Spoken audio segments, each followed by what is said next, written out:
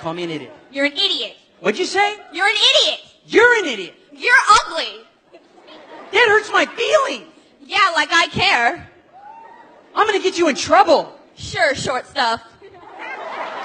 I'm taller than you. Shut up.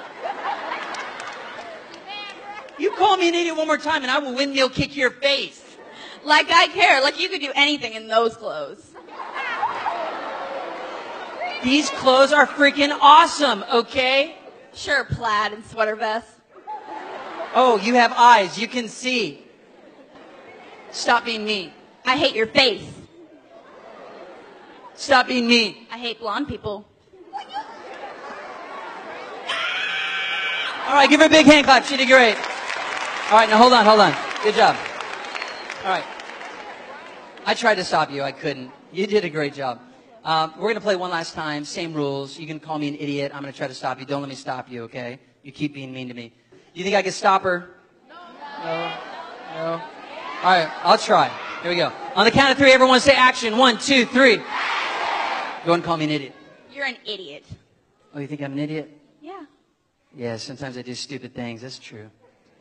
Yeah, you do. You always do stupid things. I know. You're so smart. You're so lucky. Yes, I am.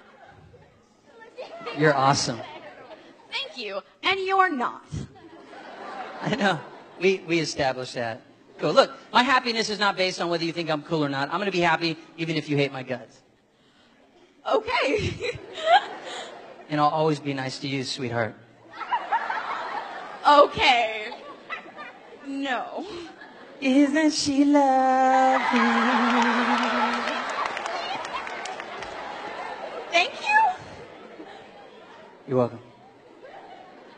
I won. Give me a big hand clap. That was awesome. Sociologists have been studying bullying for decades. They just don't call it bullying. They've always called it dominance behavior. That it's other people trying to overpower others. And it's just like the animal kingdom. You know, the alpha male mentality. That's what's happening on campus. And so when we understand it in terms of dominance behavior, people trying to have power over another, that helps us understand what to do about bullying when we really understand what it is. All the bullying experts agree on one thing that bullying is an imbalance of power, that someone's trying to have power over you. They want to see you lose and they want to win. You see, the experts say it's an imbalance of power. Let me put it this way. Let's say a bully says they hate your guts. I hate your guts. If you respond out of anger, shut up! The bully loves that. Never. I hate you. Don't care. You're hurting my feelings. That's the point, stupid.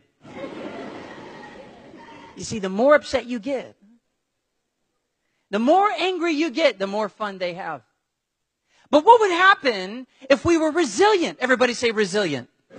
What if we were emotionally strong? Everybody say strong. What if we were mentally tough? Everybody say tough. Then no matter what the hater says, you wouldn't care. I hate your guts. That's nice. you smell like body odor. You're nasty. Thanks for the information. Your face is ugly. You have a face of an angel, sweet cheeks.